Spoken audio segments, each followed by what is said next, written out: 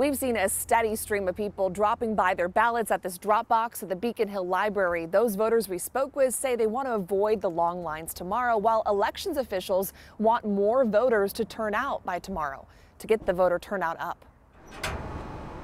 Whether you choose to drive through or walk up or put your ballot through the mail, you have one day left to make sure your voice is heard in the primary election. I think everybody should and so I wanted to get it done early. I don't want to wait around, you know, because it, it'll be a lot of people tomorrow trying to get their ballots in. Ballots are due by Tuesday, August 2nd at 8 p.m.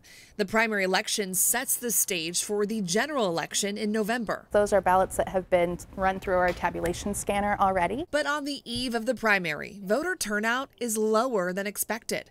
The last primary in 2020, turnout was around 26% at the same point in the election. We're sitting at about 21% or so right now. That doesn't include everything that voters have been dropping off at drop boxes this afternoon. Halei Watkins at King County Elections headquarters says voter turnout may be closer to 40% when all ballots are in. We are trending just a few points behind what we typically see in a primary. I asked what may be tipping the turnout downwards. Watkins points to voter behavior people tend to wait until the last day. What we also see in primaries is lots of folks turning out to vote late. Uh, we see more folks lined up at those drop boxes at 6.30, 7 o'clock tomorrow, right before that 8 o'clock deadline um, in these August primaries than we do in, say, a presidential election or a typical general election. Back at one of the 76 drop boxes in King County. Too many people have gone through too much not to vote. Ed Jefferson takes every opportunity to vote. Everyone should vote. It's your responsibility. And there's just, there's no excuse for not voting, period.